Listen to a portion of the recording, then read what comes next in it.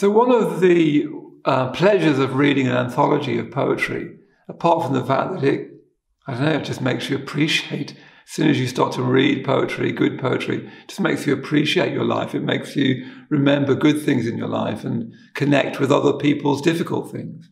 But reading through this anthology, Staying Human, came upon the poetry of Finola, Finuala Dowling, a South African poet who's who I've never read before. What's great, one of the pleasures, isn't it, of reading anthology? You, you sort of stumble across new friends, as it were, people that you've, you've never read before.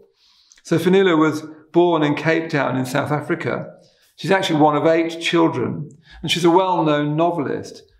Pretty much that's all I, uh, I know about her. This poem's from um, uh, Pretend You Don't Know Me, New and Selected Poems, also published by Bloodaxe. It's a very short poem. Actually, I found a few of hers here that I wanted to read, but we'll stick to this one. And it's called Widowhood in the Dementia Ward. Yeah. Widowhood in the Dementia Ward. Oh my God, I'm so pleased to see you, she says from her nest of blankets. I've been meaning to ask, how is your father? How is Paddy? He died, I say, remembering 1974. Good heavens, now you tell me. How lucky he is. You could join him, I suggest.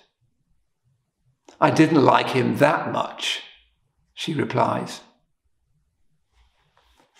So I really like the poem's compassion. This is love, this mixture of humorous compassion. You see this in so much poetry, a sort of mixture of humour and compassion.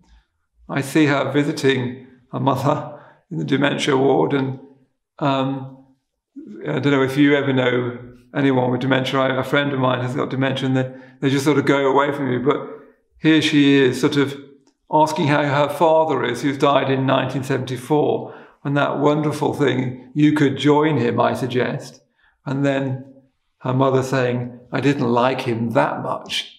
Uh, so I don't know, it's a, such a, it's a slight poem. It's not trying to be a big, serious, profound poem, but it's just reminding us to, we can still love, we can still laugh, we can still share something, even in the dementia ward. So yes, that's Finola Dowling, uh, widowhood in the dementia ward.